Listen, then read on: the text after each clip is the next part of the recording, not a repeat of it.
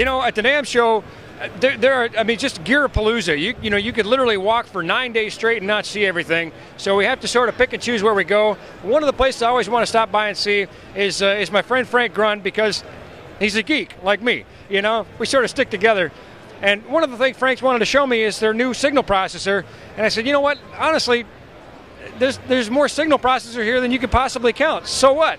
He said, yeah, but they can't do this. And it's, it's unbelievable. Frank's going to tell you about it in a minute here, but USB out of the computer over a, a balanced line through your audio snake gives you the ability to control this, this interface. And I'll tell you what, I'm just going to turn it over to Frank and he can tell you about all the nerdy goodness here. Okay, some of the features we have here, it's an open architect, so you could take your two inputs to your six outputs and allow them to be anything you want. You're not restricted to just crossover point. Uh, full open compressor, you got multi-band compression, so therefore your mids, highs, and lows you can compress. Uh, all the inputs can be assigned. Your overview, so there's no restriction on the mapping. Allow it to go to any input.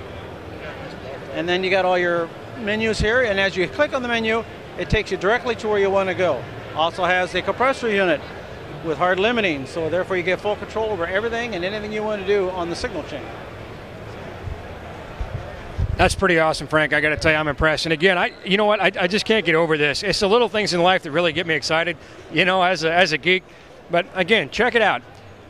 You got the computer with your console, and you got the processors with your amplifiers on the stage. The connection between them is an audio snake.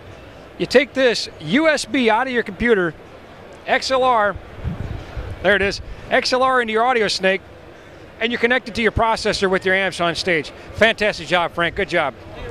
You bet.